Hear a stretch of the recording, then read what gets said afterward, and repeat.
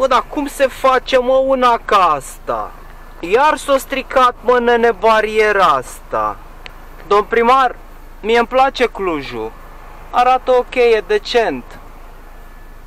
Dar, uh, serios acum, când facem pasarela aia aici să putem trece? E foarte greu, Baciu s-a aglomerat și cred că este coloană până la Academia de Poliție acolo sau ce îi. Stau aici de 45 de minute. Imediat ajung acasă, mănânc un sfert de pateu și iar trebuie să plec la lucru. Nu e ok.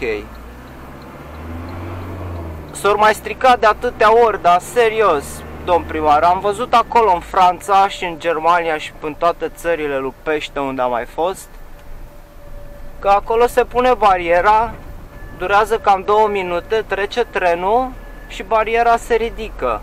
Oare eu de ce a trebuit să stau 45 de minute? Mi se pare totuși cam mult. Sau nu o fi mult? Nu știu, doar întreb. Uite, după cum observ, s-a făcut coloană și în partea asta la altă. Probabil că ei stau de mult mai puțin timp. Cred că nu au ca și mine 45 de minute, probabil că au 43. Tot e bine, sunt un avantaj. Două minute, bravo lor. Problema asta cu siguranță nu o cunosc doar eu. Sunt convins că știți de ea și mi-ar plăcea să o soluționăm cumva. Am fost în Marsilia și am văzut o chestie foarte faină. Marsilia este destul de mare, să zic așa. Și cum am intrat, aproape să intru de fapt în Marsilia, au făcut ei pe dedesubt un fel de tunel din ăsta. Și mi-au zis că dacă nu am treabă pe la suprafață pe acolo prin oraș, să evit traficul, aș putea să o iau prin tunel. Și eu am respectat ce au zis ei și am traversat Masilia cam în 6-8 minute. Mi s-a părut o chestie destul de inteligentă. Oare să fi fost doar eu plecat afară? Mă întreb așa uneori niște chestii din astea. Ai rămas acolo? Am înțeles. Cu ce ai dat cu pufoaică? Uite, chiar și aici e coloană. A, sunt uimit. Și în partea asta este tot coloană. O fi de la barieră? Cine știe?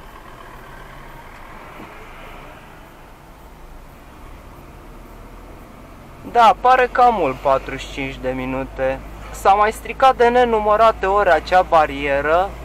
Nu știu cine este responsabil de acea barieră, dar cu siguranță că se cunosc. Puh, mi-a intrat până aici în cabină. Zic cu siguranță că se cunosc problemele astea aici cu tăietura turcului și oare cine ar fi în măsură să mă ajute și pe mine să nu mai stau 45 de minute în trafic? Că eu întreb, nu prea știu pe aici, pe nimeni. Am văzut și chestii frumoase în Cluj. Dar chestia asta nu îmi place.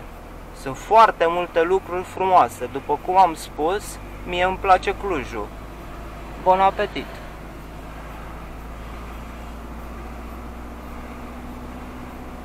Oare cu cine ar trebui să vorbesc? Să vedem ce soluție se poate găsi.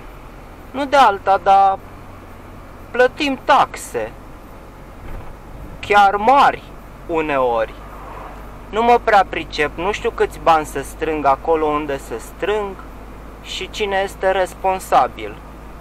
Dar eu, domn primar, vă întreb pe dumneavoastră că împăreți a fi destul de prietenos. Oare chiar așa trebuie să stăm de fiecare dată 45 de minute? Doar întreb. Mulțumesc!